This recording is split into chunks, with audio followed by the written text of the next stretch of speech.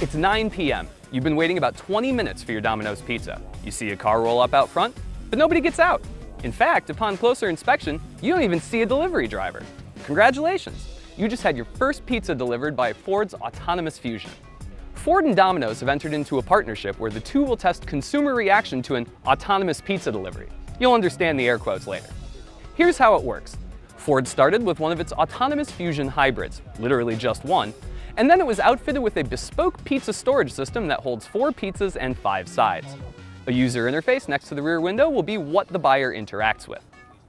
When the delivery car arrives, the buyer will receive a notification, head outside, enter a code on the touchpad, and grab the pizza. You got it.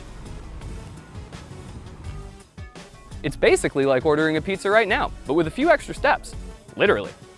While it would be super cool if the car were completely empty, sadly that's not going to happen. Both the Ford safety engineer and other researchers will be in the vehicle during testing. In fact, because of the current state of self-driving vehicle laws, the vehicle will be under human control during the deliveries, even though the vehicle is fully capable of driving itself, which is eh, a little bit of a bummer.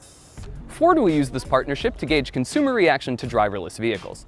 For many, this will be the first time they'll get up close and personal with the self-driving car with the LiDAR spinning up top and ridiculous graphics all over the body. Will they be excited to check it out or will they run away screaming?